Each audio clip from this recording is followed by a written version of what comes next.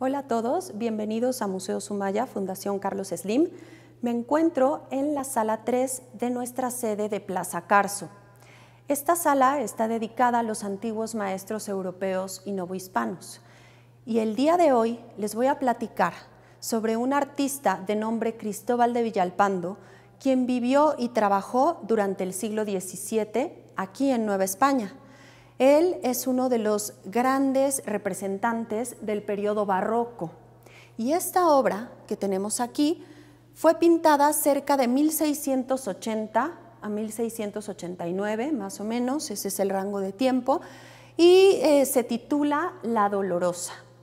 Cristóbal de Villalpando es un artista que estuvo profundamente interesado en los avances científicos de su tiempo, era un artista muy inquieto y su obra tiene características eh, muy puntuales, como por ejemplo la pincelada vaporosa, los colores vibrantes y la expresión de los rostros. Los rostros de Villalpando suelen ser sumamente expresivos.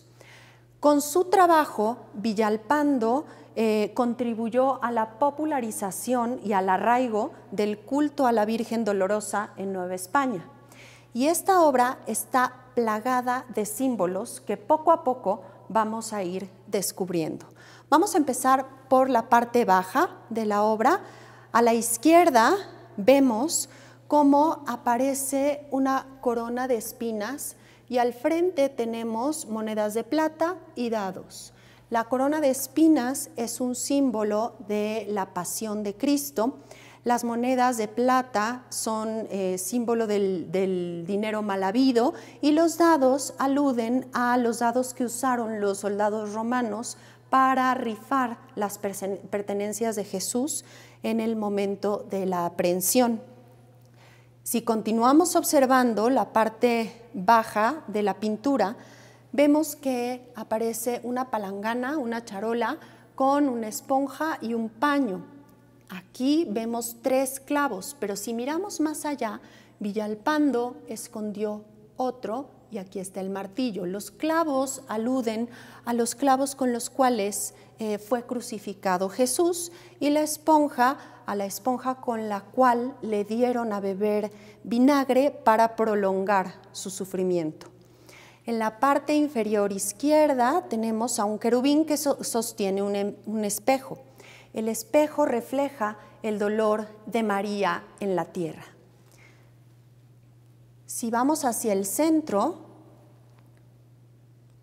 observamos, por supuesto, en primer plano a la Virgen vestida de rojo y azul, el rojo que alude a la pasión, a lo terrenal, y el azul que alude al cielo.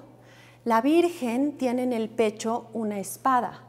Este es el símbolo de los siete dolores de María, los siete dolores que ella tiene que sufrir, que experimentar eh, por convertirse en madre. El primero es la profecía de Simeón, el segundo es la huida a Egipto, el tercero, cuando el niño Jesús se pierde en el templo, el cuarto, el Via Crucis, el quinto, la crucifixión, el sexto, el descendimiento de la cruz.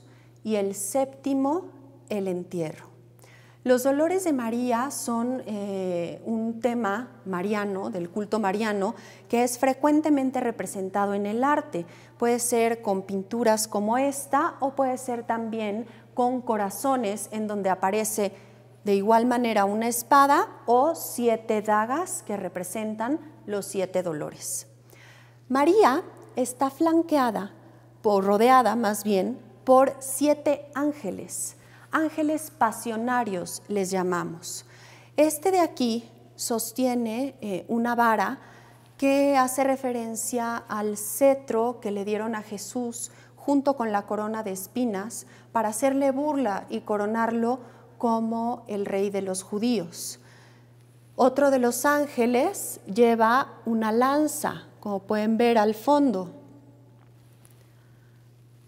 La lanza es precisamente el objeto con el cual eh, picaron un costado de Jesús para, cerciorarse de que había fallecido.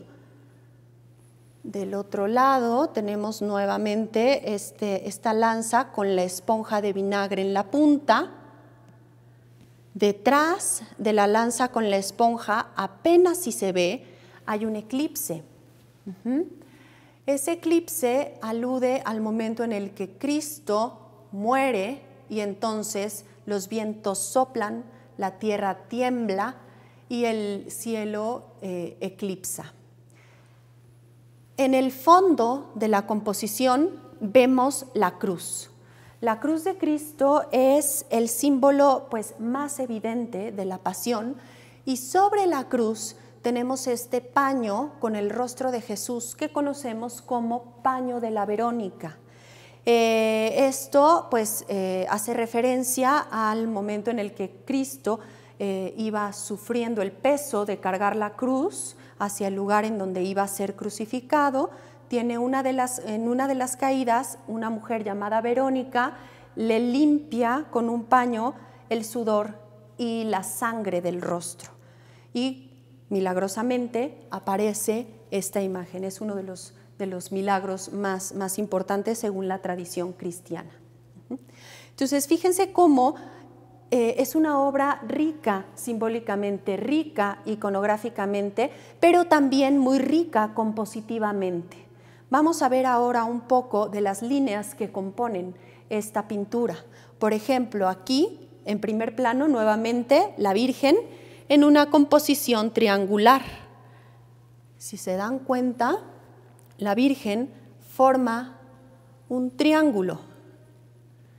Y ese triángulo está también complementado o segmentado por elipses. Si se fijan y siguen mi rostro, las cabezas de los ángeles, de la Virgen, todas se conjuntan junto con las rodillas en esta gran elipse que imprime dinamismo, que imprime movimiento a los personajes y que también eh, nos hace sentir esta, que esta escena es, íntima, es, están todos juntos en este momento.